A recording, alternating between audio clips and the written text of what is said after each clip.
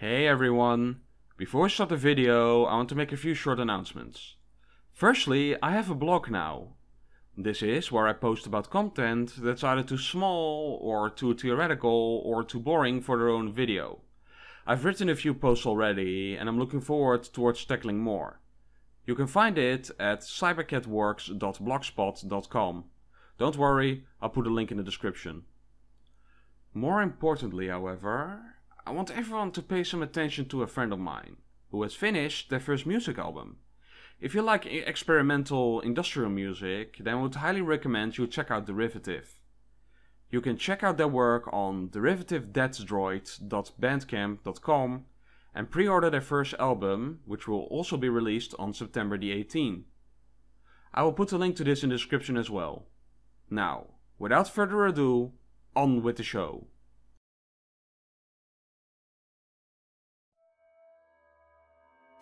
Alright, here's the next question. Are you ready? Yes! Here we go. If you had the power to control everyone's mind, to change, and you, would, and you could change the world for the better in any way that you see fit, would you do it? It is an interesting scenario. Yes, but would you do it? Wielding such immense power and not thinking about the consequences. To think that with a simple thought, I could control the destiny of all mankind on a scale that is unprecedented on, in human history.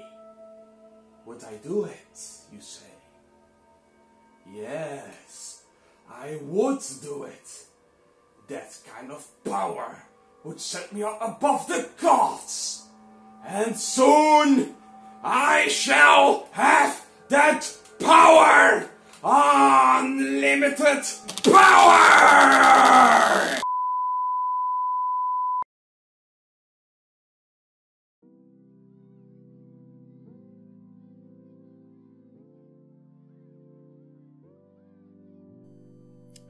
Power is a strange thing. It has existed throughout the ages and has been a main driving force behind conflict in human history. It was power that allowed Alexander the Not So Bad to lead his armies and conquer a swath of land, from the Hellenistic world to northern India. It was power that drove the European empires to commit atrocities in the transatlantic slave trade. Finally, it was power that saw the Nazis to try to take over Europe and commit genocide in the name of their abhorrent ideas. But what really is power? We cannot see it, nor can we really measure it.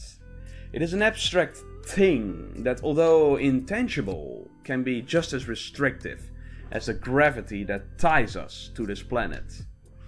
To answer that question really depends on whom you ask, but I think that there is a small group of people who have answered this question in about the most encapsulating way I could find. In the late 1950s, researchers French and Raven analyzed the complexities of power and power dynamics, and since then many people have added to their work. This group of people defined power as the ability to achieve results or compliance from another individual, or the aptitude to modify someone's behavior. The definition basically states that the more you can influence people to do what you want, the more powerful you are. If you think about it, is this a pretty horrifying definition? It sketches power as a tool for people to enact their will onto others regardless of the consequences or the consent of others. This definition is all fine and good, but it leaves something to be desired. How do you gain power? How do you influence people? How does this all work? I may not be able to answer all of these questions, but I'm certain that, that I can at least answer some of them. For you see, the work done by French, Raven, and others actually elaborates on this a bit more. They hypothesize that all power is derived from five bases of power, which can all be categorized in two categories. These five bases are reference power, expert power, legitimate power, reward power, and coercive power. Out of these five, referent and expert would fall under the informal power category, while legitimate, reward, and coercive would fall under the formal power category. These, three these two categories exist to distinguish between the sources of power. Referent and expert are called informal powers because they exist without any formal authority backing them up, meaning that almost everyone can wield this power without having any official authority to support them. Formal powers, on the contrast, do at least have some kind of authority backing them up. Though their degree of being official is honestly often debatable. As a result, these powers require one to be in a certain position in society before they can be used. Let us discuss the informal ones first.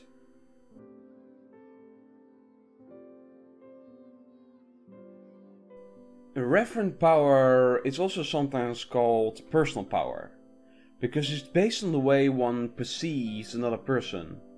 It is based on the respect and admiration one has gained over time. Being respected by others gives one a certain power over others. It allows them to have at the very least a certain say in things, or in some cases even run the show in certain political structures. There are many ways one can gain respect or admiration. One could have done an impressive feat in the past and gain respect for that. Or in some cultures, one could have reached a certain age and therefore be assumed to be more experienced in life and revered for it. Keeping this in mind, it should come as no surprise that most politicians in many Western countries are still older white men. This respect does not just come because of a feat, or even because of old age, on the other hand. Charisma is also an important factor in this. A person that is well liked by everyone but has not accomplished a whole lot can still be pretty powerful. This is most likely due to something that has been called the likability factor. In our capitalist world, the appearance of being well off often turns one into a status symbol, and this gives them a certain power. A good example of this would be something like an Instagram influencer. Someone like, let's say, Kendall Jenner. She does not have any formal authority, is neither an expert on anything, nor does she have the experience of age. However, due to her privileged starting position, being born relatively wealthy, and her appearance of being a successful businesswoman, gives her immense influencing power. Companies and organizations know this and can often contact her to promote their products and services, because they know that because of her influence, she can spread a message or sell a product very easily thus influencing or modifying the behavior of a large group of people. As a side note, I'm not saying this to shit on Kendall Jenner, she's just a very good example of this type of referent power. Please be nice to my comments section. Referent power, although informal, can also be used as a method to obtain formal power. By appearing to be admirable or respectable and leveraging wealth, one can gain the backing of a formal authority like a state or a multinational company relatively easy in this regard. Referent power can therefore be used as a starting point. Many scammers and con artists work like this as well, appearing to be successful and therefore luring you into a false sense of security for them to exploit you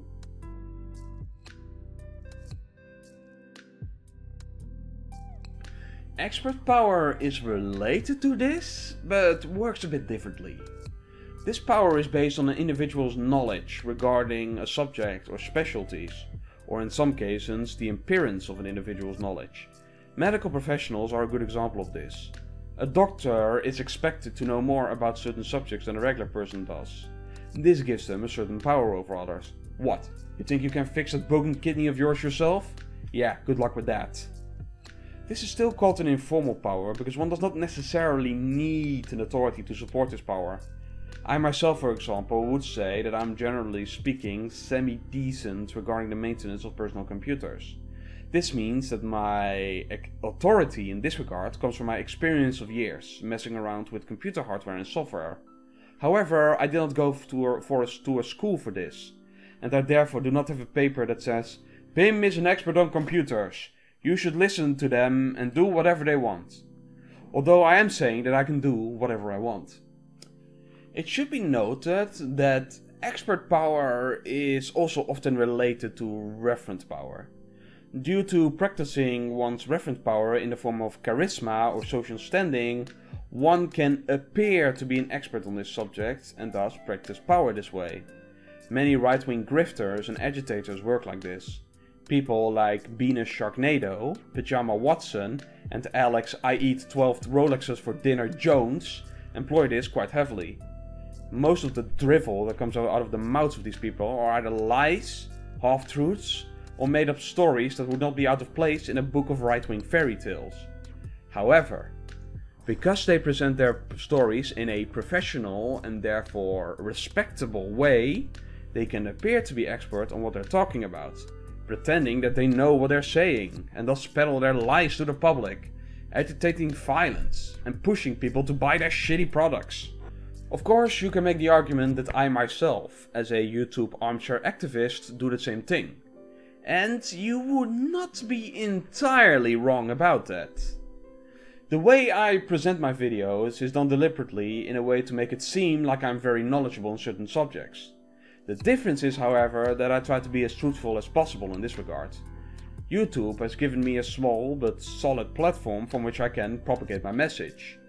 I am fully aware of this, however, and I try to act as, as ethical as possible in this regard, but not everyone does that. Parasocial relationships can work like this.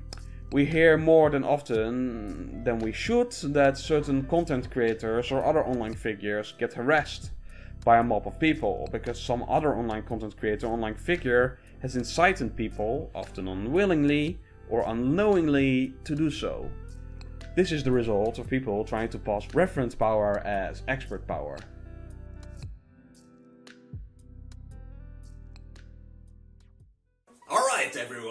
Welcome to a monthly employee presentation. You might recognize me as Eric Franklin from the sales department, and I'm here to tell you all about the new, new developments we are doing at Teat Technologies Incorporated. We are having a lot of new stuff to show, all thanks to our loyal wage slaves, I mean employees, working very hard to make sure that our company shines above everyone else when it comes to dental technology.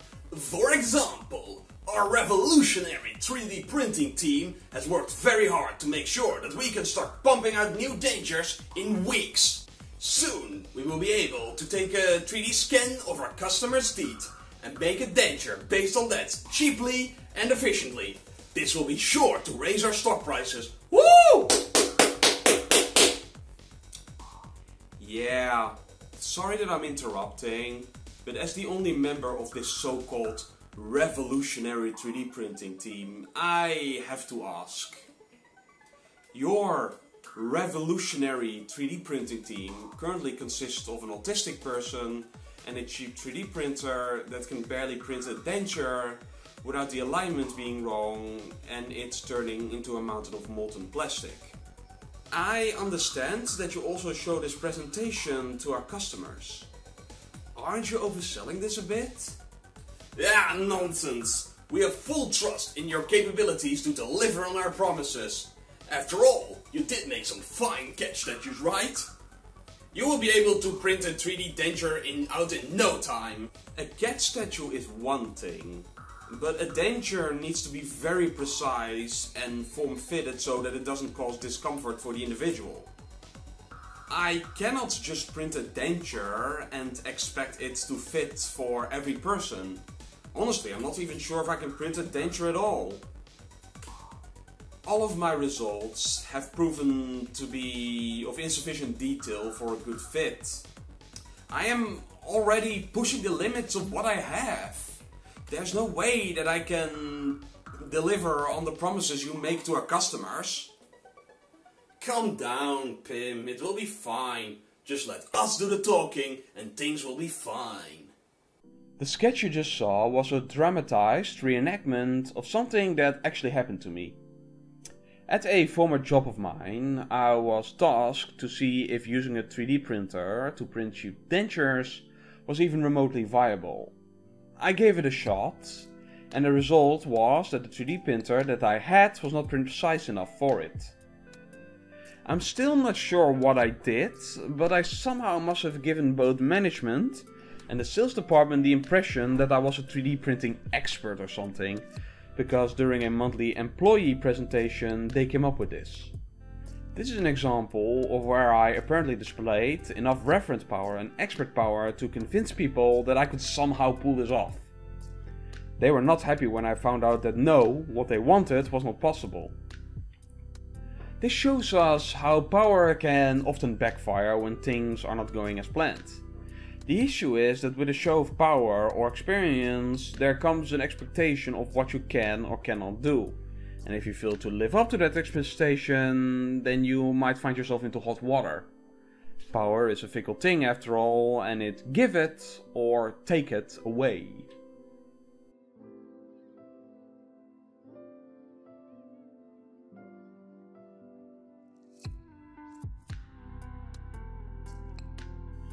Legitimate power is the power you get when you are sanctioned or justified by a group or individual to exercise said power.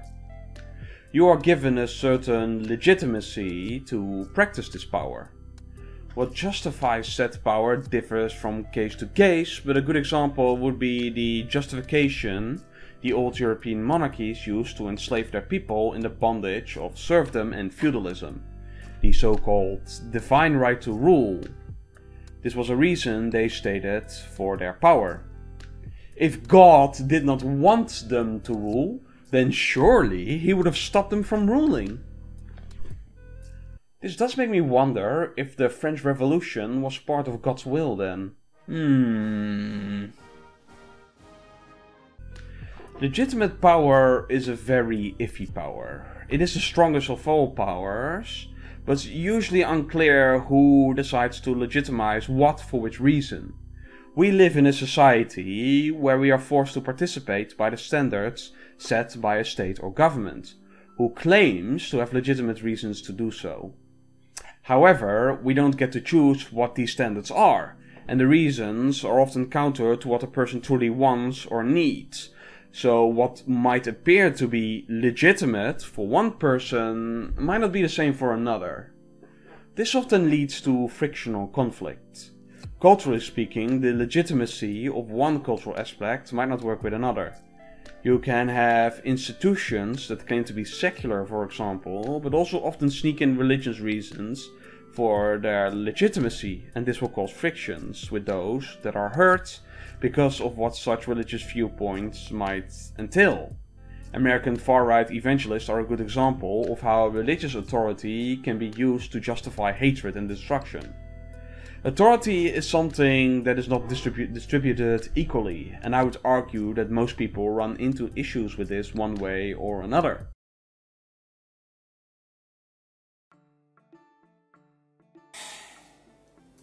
Come on, boy. I get that you're not interested in marrying your cousin, but you have to think of the bloodline. It's one of the few things that give us power over the revolting masses. No! I don't want to, father. Cousin Lizzie is mean and pushes me around. I am in love with the fair maiden that works in our garden. Don't even joke about that. Do you have any idea about the damage this could do to our legitimacy? We could lose everything our ancestors worked so hard to achieve. No, I don't care about your legitimacy. I am a prince. Why can't I live my own life and make my own decisions? It is exactly because you are a prince that you need to marry her. We are in a very vulnerable position right now. We had an invasion of the Aztecs, a famine, and a Reformation bullcrap to deal with. To top it all off, we had a comet soaring through the sky last week and scaring the devil out of those peasants. We are on the brink of destruction. You, refusing to do this, could push us over the edge. Do you want to end up like those people in Dithmarschen? You always bring up Dithmarschen like it's some kind of magical spell. What about Dithmarschen scares you so much? In Dithmarschen, I can marry whoever I want and not be forced into marriage with someone like Lizzie. Because if the people find out that they can cover themselves, then we are done for. We could both end up being killed and our country would be in ruins. God has given us the responsibility to prevent this. And I'll be damned if my own son refuses to go through with this. Now, put on your cloak, grab your ceremonial staff, and walk to the aisle. Hmm. Down with the tyrants! Long live the peasant republic! Ah! Revolutions and uprisings have historically been the way for those who are hurt by authority to challenge the legitimacy levied by legitimate power. By accumulating the power of mass action, a group can get a certain legitimate power themselves and use that to challenge the legitimacy of an authority. It should be noted that the definition of a revolution can be very broad. It can be a violent uprising, but it can also be other actions like a general strike or a large amount of civil disobedience. There's nothing more frightening for authorities than a mass action like this. It challenges their legitimacy and it shows to, shows to those under their thumb that the justification they have used to rule might not be so justified after all.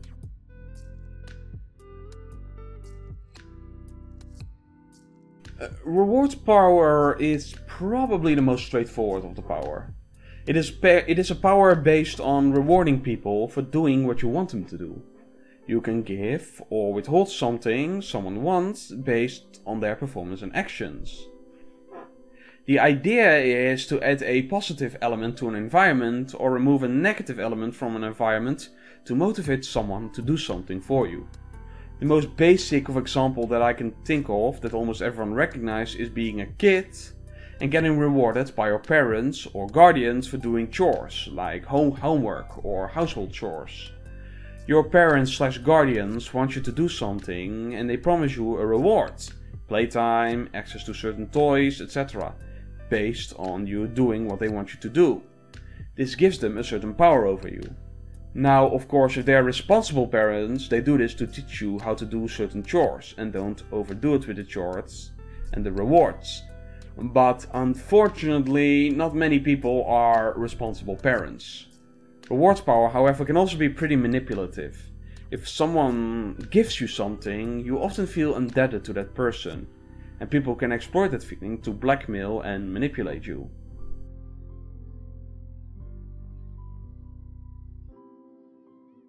The final base of power is coercive power.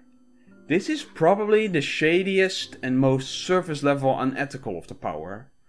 Coercive power is in a sense the opposite of reward power. Rather than adding a positive element to an environment, you are adding a negative element to an environment or removing a positive one. You have the ability to punish or penalize someone for their actions. And no, I don't mean in the fun way. Coercive power can range from shaming someone publicly to the most extreme torture and human rights abuses you can imagine. It has the widest range of actions that can be taken to motivate someone, and it has a long history of being used. With that said, despite the extreme measures that are taken by coercive power users, it is not as effective as you might think. It has been speculated that coercive power often relies on a few individuals in workplaces for it to work, if these individual leaves or are not present anymore, everything that relied on coercive power to function falls apart like a card house. In one of the most extreme examples, in Nazi Germany in the final years of the wars, there were a slurry of uprisings and rebellions in occupied territories and concentration camps. Hell, in occupied Yugoslavia, there were uprisings and rebellions from the moment the Nazis set foot on the soil. Turns out that, if you're only using the metaphorical boot to stomp down on people, it builds up resentment. Something that will come back to bite you in the ass once you lose the ability to back up your coercion. The lynchings that happened in Europe shortly after the fall of the Nazi regimes across Europe is a good example of this. If there is one silver lining of this, then it is that co- coercion also ferments rebellion, and history has shown that there's usually a tipping point in which rebellion explodes. The coercion starts building pressure, like the buildup of steam in a boiler. Eventually, the pressure becomes too much and the boiler explodes.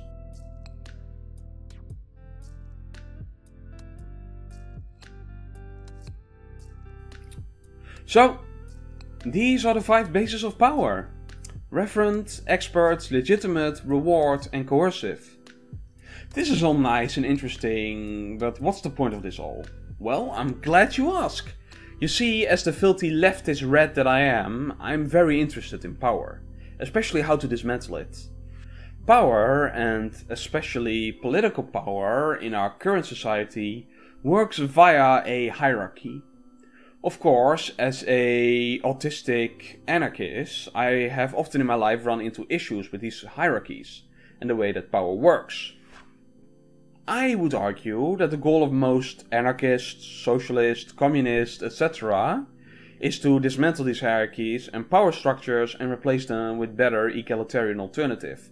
The five power, the five bases of power, as dictated by French and Raven, are the result of the formation of our capitalist society. It is capitalism and the hierarchies that come with it that ferment these powers and propagate them at the expense of everyone else. The most basic definition of anarchism is an opposition to unjust hierarchy and political power, like this in particular. We also recognize that most, if not all, of these hierarchies and power structures are weaved into each other. We therefore say that you cannot really abolish one of these hierarchies or structures without abolishing the others. This is in opposition to how most liberals and liberal politicians see fighting for justice.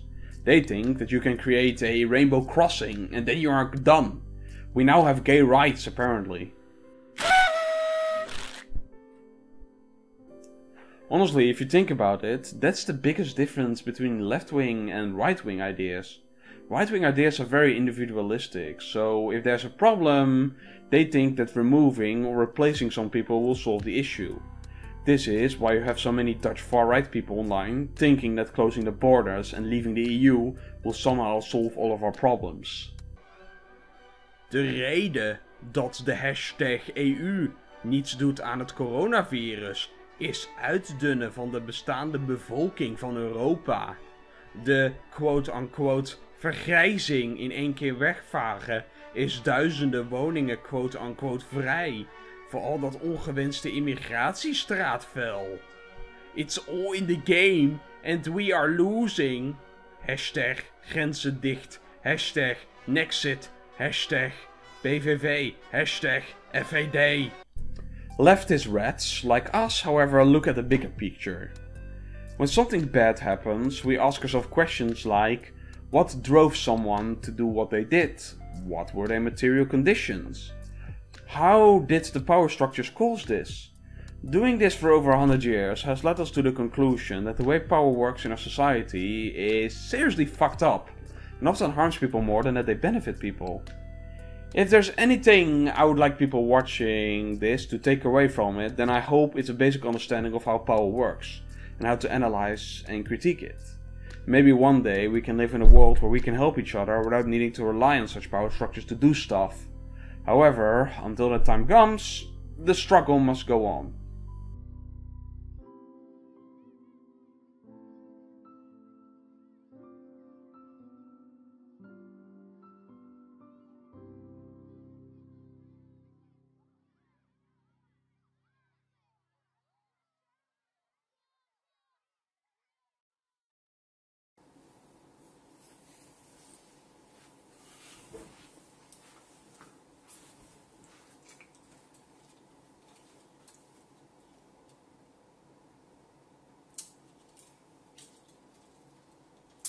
So, I uh, was looking around uh, on the web shop, shopping around for a crown for my feudalism sketch. And while I was looking around, I also encountered this. So uh, I found it to be kind of silly, so I bought it. So I'm now going to try it on. So let us remove the packaging here, we don't need that anymore. And let's see how it fits.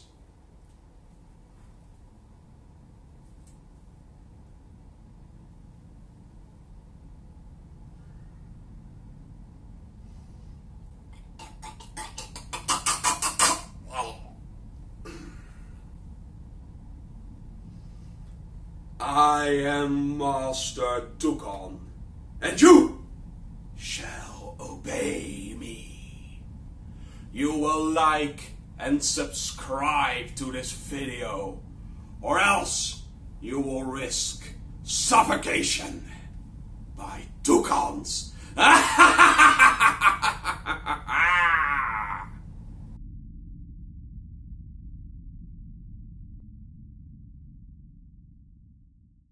You done?